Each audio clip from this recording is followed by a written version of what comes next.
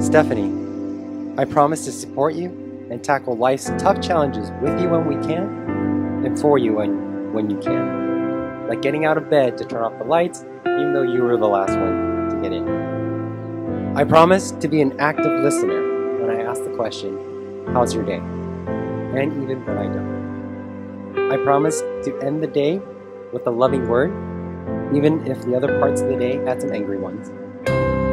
I promise to miss you when you're away, cherish you when you stay, and love you every day.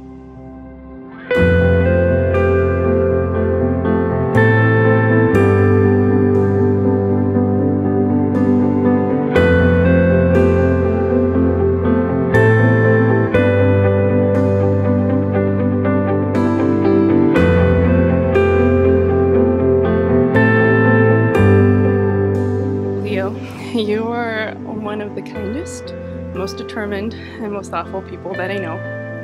Since we met in 2005, when you let me co op your bed as my personal study space, to us standing here today. Over all those years, the one thing that's been a constant has been you and the relationship that we've built together. I promise, really, to love you, to inspire you, to laugh with you, to support you, to challenge you, which is probably the easiest one, and most importantly, to continue growing.